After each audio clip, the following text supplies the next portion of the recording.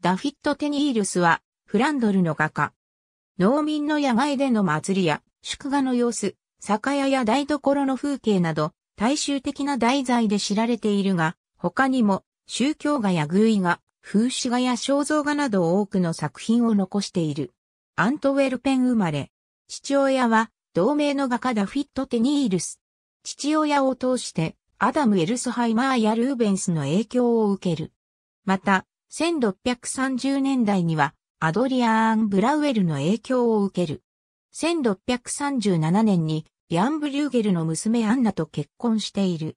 1632年に、セール化組合に登録となり、マエストロとしての地位を確立したが、それ以前から広く、ヨーロッパ中の王侯貴族を中心に知られた存在であった。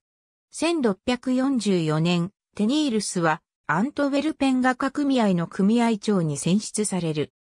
ネーデルラント総督であるオーストリア大公、レオポルト・ビルヘルム・フォン・エスターライヒは美術愛好家でテニールスを宮廷画家として名詞化変えるだけではなく自身のコレクションの管理をするようにも任命したため1651年頃テニールスはブリュッセルに住居を移した。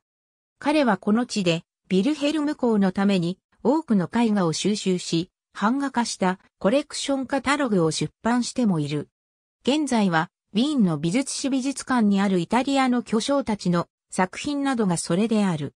ビルヘルム公がウィーンに戻るまで公務は続いたが、その後の支配者であるフアン・ホセでアウストリアからも好意を得た。1690年4月25日、ブルッセルで老衰により亡くなる。